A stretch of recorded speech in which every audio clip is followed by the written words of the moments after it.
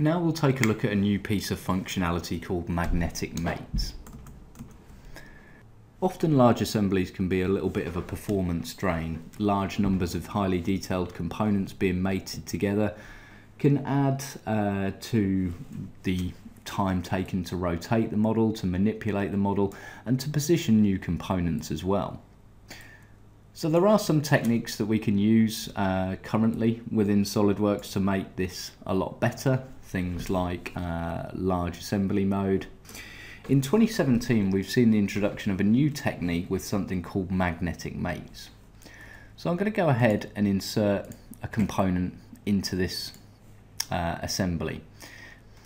As soon as the line is connected between the two pink dots, we can click and place and the component will be drawn into position using the magnetic mate functionality. So we'll go ahead and we'll do that uh, again with another component.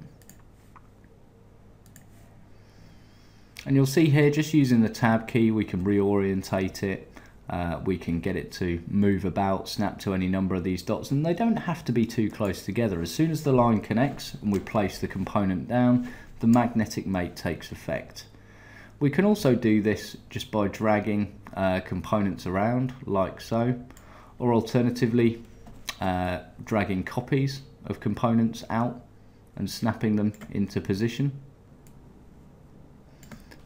like so. And it becomes a very quick easy way for us to manipulate components around the screen. You'll see here we can drag groups of assemblies.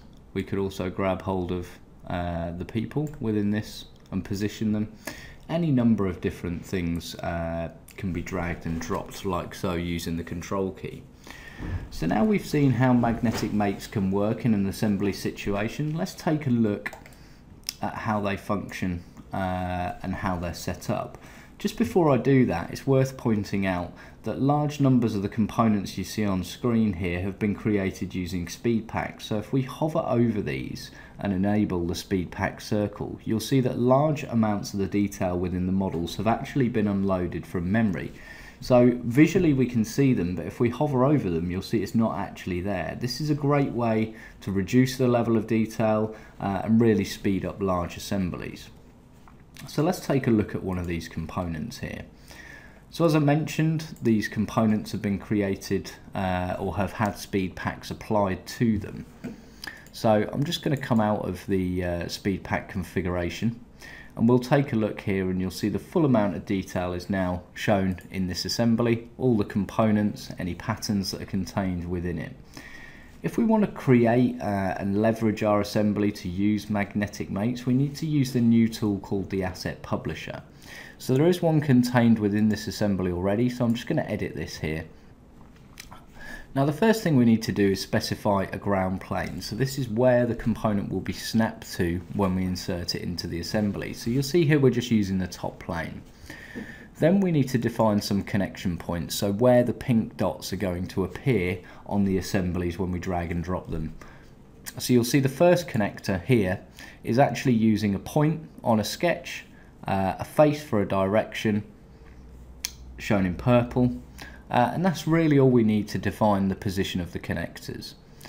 One of the other things that we can do optionally within here is create a SpeedPAK. So the assets don't need to a SpeedPAK, but they can include one. So let's take a look at the SpeedPAK for this assembly. So let's just go ahead and edit it. So within SpeedPAK, for those of you who aren't familiar with the tool, we can choose to include components, bodies, surfaces, uh, planes or faces and anything we don't select is going to be excluded so it's going to be dropped out of the graphical memory. Towards the bottom, new for 2017 is the ability to capture the published rest, uh, the published assets within uh, the asset publisher. So we can now uh, choose the ground plane, the connectors, and we can also include any sketches or curves within here as well. So again, once the SpeedPAK is created, you'll see all that unnecessary detail for positioning the component is dropped out. So hopefully what we'll see uh, with the use of magnetic mates is a much easier way for us to position our assemblies relative to each other. We now only need to define one mate instead of three, so that should help us with performance. And with the addition of SpeedPAKs as well, we can really uh, make some inroads into assembling much, much faster. So, in summary, we've seen how it allows automatic snapping. We can break the existing mates by simply dragging. It can utilise SpeedPAK technology. There's a new asset publisher tool to allow us to uh, create these assets. We can include reference geometry. This uh, magnetic mate system also works on cylindrical components as well.